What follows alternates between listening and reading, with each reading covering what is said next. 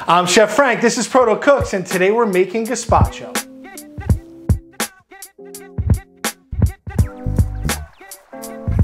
Chef Frank, what is gazpacho? Great question. Gazpacho is a cold tomato soup from Spain. Uh, and it's usually eaten during the summer when it's really hot out, and it's just meant to cool you down and be refreshing. For my gazpacho, this is what you're gonna need. Italian bread, red onion, garlic, chili flakes, pimenton or smoked paprika, tomatoes, cucumbers, extra virgin olive oil, and sherry vinegar. And of course, salt and pepper. Before we start this gazpacho, let's talk about a few of the ingredients. The first one being bread. Bread adds to the texture of the soup. It makes it silky, uh, it gives it some body, and I like the way the finished soup tastes with bread in it. If you have an allergy or uh, gluten intolerance, keep the bread out. It's fine, it'll still taste good. Next ingredient I want to talk about is chili flakes. Traditionally, you probably wouldn't see this in a gazpacho, but I like that it adds just a little bit of spicy kick to it. I'm also going to add some pimenton, which is smoky paprika. Again, might not be traditional, but I like a little bit of that smokiness in my finished gazpacho. Another ingredient that's a must is cucumber, right? I'm gonna use an English seedless cucumber. I'm gonna peel it before we puree it. Another ingredient I like to put in my soup and on top as a garnish is extra virgin olive oil. A nice kind of peppery, grassy extra virgin olive oil adds some nice flavor. Uh, and it also helps with the texture like the bread. I also like to add some sherry vinegar. Uh, sherry vinegar is one of my favorite vinegars and they make sherry in Spain so it fits the profile. Sherry vinegar, if you don't want to use sherry vinegar, use lemon juice, use some red wine vinegar. It's totally up to you. But again, this is my recipe, so sherry vinegar. Last but not least, let's talk about the star of the show, the tomatoes. Uh, I have a variety of tomatoes here, some small beefsteaks, some brown tomatoes, some grape tomatoes. Best time for tomatoes by me is late summer. Uh, you get the really nice heirlooms or the nice juicy beefsteak ones. I tend to stay away from things like plum tomatoes. They don't have a lot of juice and they're kind of dry. So find yourself some nice juicy ripe tomatoes for this soup. First thing I'm gonna put in the blender is my cucumbers. And I like to put things that are kind of soft and will puree really fast at the bottom. So it's like tomatoes, cucumbers, onions, and then the bread at the top. Uh, this kind of like an order of operations. I also like to put uh, all of my soft vegetables in there so they can kind of marinate for a little while.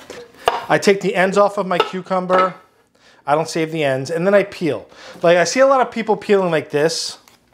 No, cucumbers peel really quick. Just long strokes.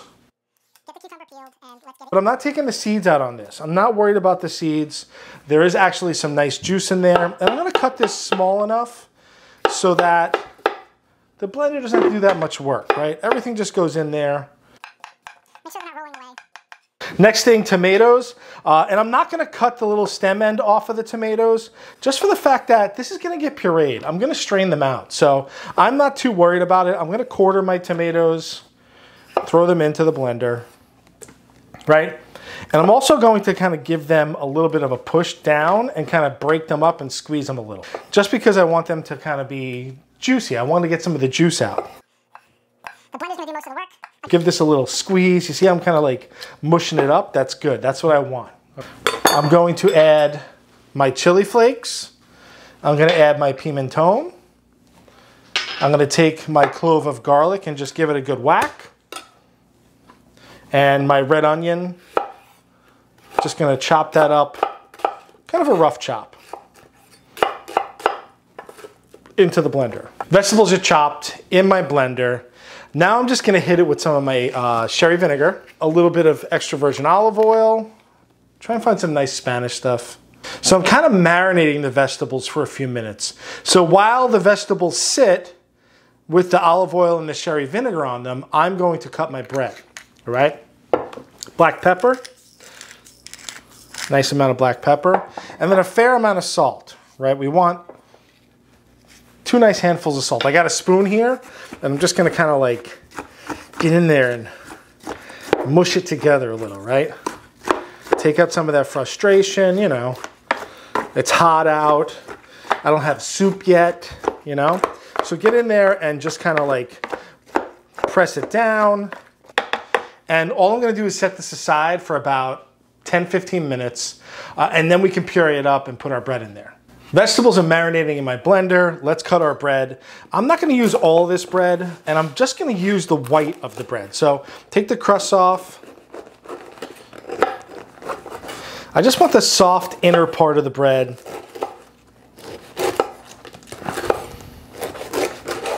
Not a lot, not the whole loaf, right? These can be snacks for you later, right? And I'm just gonna kind of cut this into small pieces. Again, this is just gonna add some texture to our finished soup. And I'm gonna soak this. So I have a little bowl of water here. I like to soak my bread in water to hydrate the bread. If I just take the bread and put it in the soup, it's gonna kind of dry the soup out and make it a little too thick. So hydrate your bread. It'll also kind of puree a lot smoother if it's hydrated. It is time to blend our soup up. Now, I have my bread set aside. What I'm gonna do first is kind of get this going, get this blending a little, and then I'll add the bread later on. Make sure that whenever you use a blender, that you always have a hand on the blender container, uh, either on top or holding the handle. Sometimes these things are powerful enough that this jumps off, so I always try and have a hand here, right? Okay, it's gonna get loud.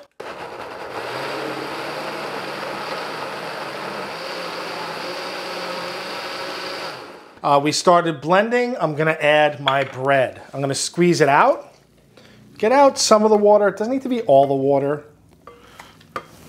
Just squeeze out some of the water and let's continue to blend. Take a look. Ooh, it looks good. Let it go for another like half a minute.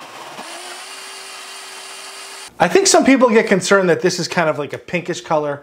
I don't really worry about that. We're blending this we're also putting a lot of air into it, right? So as you blend, you get a lot of air and that's why it goes pink. I'm not too worried about that. I'm worried about flavor. I can make this look good. So let me give it a taste to make sure it tastes good.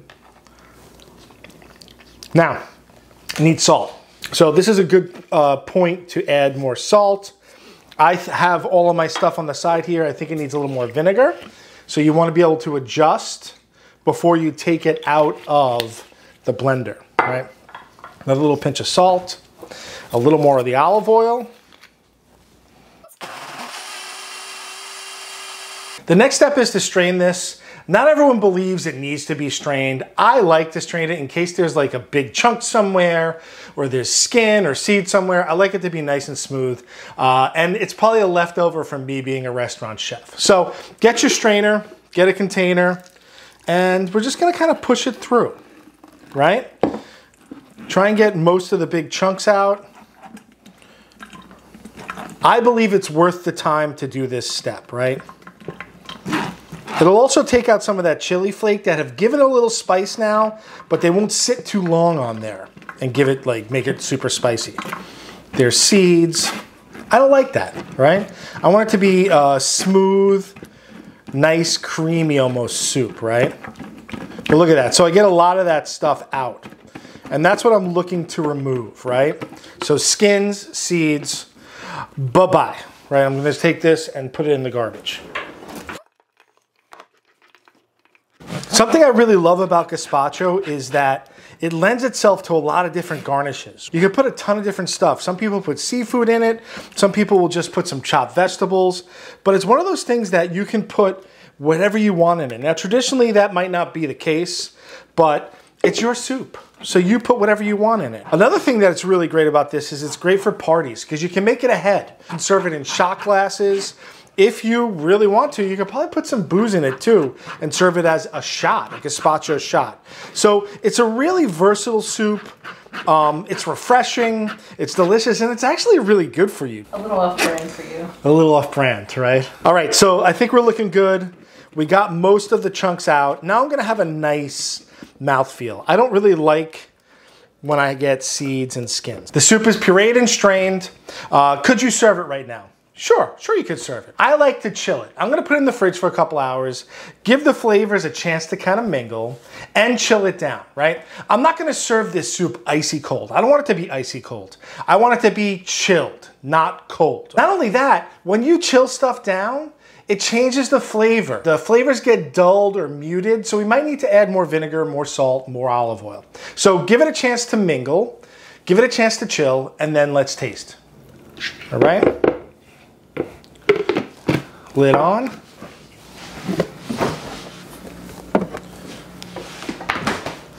All right, the soup's been in the fridge for a couple of hours. Let's give it a taste before we plate it up.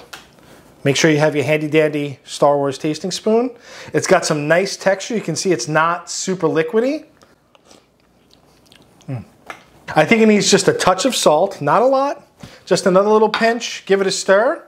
Because this is a cold soup, I have my plate in the freezer. Again, I don't want it to be icy cold, but I do want it to be cool. I want this to be refreshing. Let's plate her up.